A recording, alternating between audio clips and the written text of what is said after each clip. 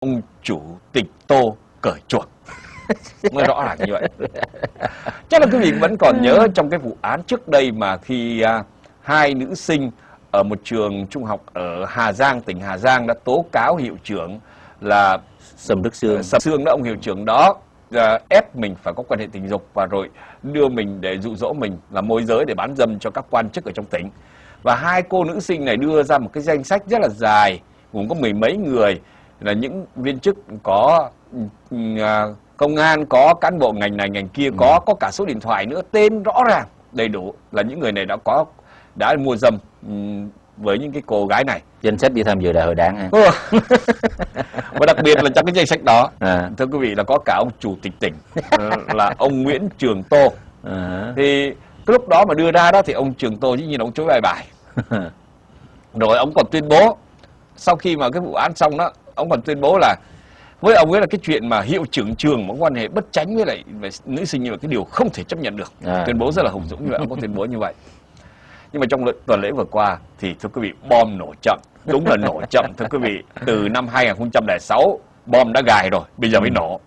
Đó là công an đã điều tra và sau đây là một phần của cái bản tin mà được đăng tải hầu như trên tất cả các trang báo ờ, web ở trong nước báo uh, VN Express đưa cái bản tin với tiêu đề là Chủ tịch tỉnh Hà Giang buông thả trong lối sống. Theo nhiều nguồn tin, cuối tháng Giêng 2006, Công an thị xã Hà Giang bắt quả tang cô gái tên Dung đang bán dâm tại một khách sạn ở thị xã này. Xin nhớ là tháng Giêng của năm 2006 và chúng ta đang ở tháng 7 của năm 2010. Qua kiểm tra chiếc điện thoại di động của Dung thì công an phát hiện có một số hình ảnh được cho là của ông Nguyễn Trường Tô trong tư thế không quần áo. Trời ghê Rõ nha. Dung khai những bức ảnh này do cô ta chụp lại bằng điện thoại di động sau khi hai người quan hệ trong ngoặc kép.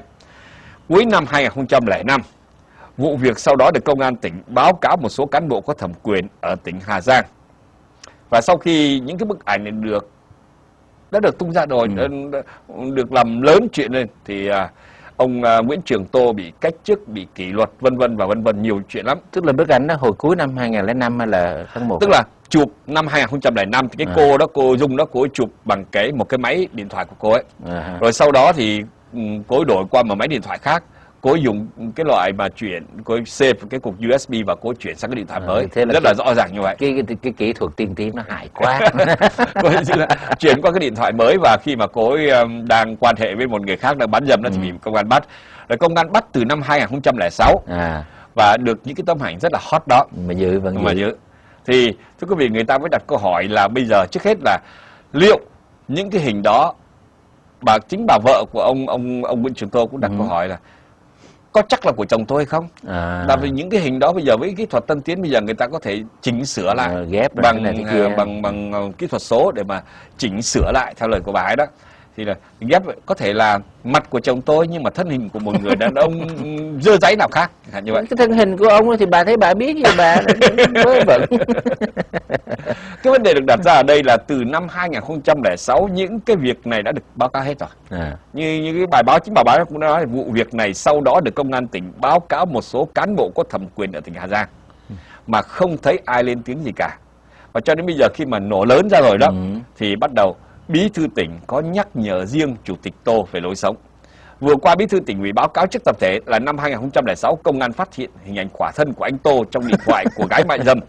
Bí thư đã nhắc nhở riêng anh Tô, ông Hoàng Trung Luyến, trưởng ban tuyên giáo tỉnh ủy Hà Giang có trao đổi với báo chí như vậy. Và dĩ nhiên họ dài họ tìm đủ bằng cách để họ bao che cho nhau mà thôi. Nhưng mà cái điều mà mọi người nhìn thấy rõ ràng ở đây và chúng tôi lo sợ là một ngày nào đó lại có một cái điện thoại di động nào được tung ra với những hình ảnh của mình đâu có biết được Dạ, không của bác biết được. Mạnh hay là của chú Dũng ở trong đó rồi sao? cái đó là nguy hiểm tại vì bây giờ cái chuyện này đó nó trở thành một cái lối sống ở Việt Nam và không phải một mình mình một người buông thả mà thưa quý vị cả một cái tập đoàn buông thả cả một cái đảng buông thả họ quên hết tất cả những lý tưởng mà trước đây họ rêu rao họ chiến đấu rồi họ kêu gọi kêu gào mọi người phải hy sinh cho cái lý tưởng đó thưa quý vị bây Vâng. giờ họ đã quên và bây giờ thì theo thông tấn xã Việt Nam thì chủ tịch tỉnh Hà Giang bị đề nghị là kết chức Ừ. à, tức là chuyện năm sáu năm rồi Ừ. thì trong một bài báo khá dài chủ tịch tỉnh Hà Giang bị đề nghị kết chức thì người ta chỉ nói là ông này tha hóa sống ờ, buông thả chứ không có nói rõ là cái chuyện là ông ấy là đi ờ, đi Vì cái tội gì không? làm cái chuyện mà mà mà như là đi ờ, qua quan hệ với là gái mại dâm Ừ. à, người ta chỉ nói chung chung chung như vậy thôi à, bài báo khá dài mà chúng tôi đọc thì người ta chỉ nói là sống buông thả rồi đạo đức không tốt. Nhưng mà có cái ông á cái ông mà có một bài báo là kết luận chủ tịch tô sống buông thả là chưa thỏa đáng. Ờ. sau nhiều lần từ chối các phóng viên thì sáng ngày 9 tháng 7 ủy ban nhân dân tỉnh Hà Giang đã tổ chức cuộc gặp gỡ báo chí tại trụ sở. Phó chánh văn phòng ủy ban nhân dân tỉnh Hà Giang là Trần Hải Dương được ủy ban nhân dân ủy nhiệm trả lời các câu hỏi. Và ông đã nói như thế này khi người ta hỏi ông như vậy thì ông nói rằng là là ờ, ông nghĩ rằng là cái chuyện mà uh, như vậy thì không có thỏa đáng. Kết luận chủ tịch tô sống như vậy là không có thỏa đáng. Sống buông thả là không thỏa đáng. Lý do là như thế nào? Ta hỏi như thế này. Phóng viên hỏi là sau khi ủy ban kiểm tra trung ương kết luận về vụ việc của chủ tịch Nguyễn Trường Tô ban cán sự ủy ban nhân dân tỉnh và ông Tô đã có những động thái gì? Thì ông nói là đây chỉ là kiến nghị của ủy ban kiểm tra trung ương chưa phải là kết luận của ban bí thư do vậy ủy ban nhân dân tỉnh và tỉnh ủy vẫn đang chờ kết luận cụ thể của ban bí thư. Những cái gì cần giải trình thì anh cũng đã làm mà không nói về cái vụ hình ảnh gì cả. Tuy nhiên dưới góc độ nhìn nhận từ phía luật chúng tôi thấy báo cáo ủy ban kiểm tra trung ương đưa ra chưa có thỏa đáng.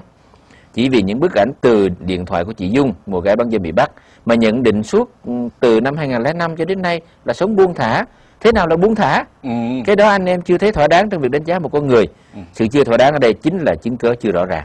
Thưa quý vị đã chụp hình như vậy. Chụp hình rõ ràng như vậy mà mà bắt quả tang thí dụ như bây giờ mà thí dụ anh Hoàng Tuấn thí dụ như ông bắt bắt cặp quả tang là ông Nguyễn Trường Tô đang ngủ Ừ. bia ôm. Người uống bia với một À. cô gái mại dâm chẳng hạn như vậy thì cái đó còn bảo là tại vì không biết cái cô gái đó là ai phải không ạ à, với lại uống bia thôi. thôi bia thôi cũng đâu có gì đâu ờ, thì cái đó là mình nghĩ vậy nó cũng chưa thỏa đáng thì mình nghe cũng còn chấp nhận được thưa quý vị Trần Như Nhộng ở trên giường trong tư thế mà có những cái trang blog ở trong nước gọi là dùng những cái chữ chữ mà những cái từ ngữ mà chúng tôi không dám nói trong Không người ta không dám đưa lên. Dạ. Rất là phải nói là rất là ấn tượng như vậy rồi.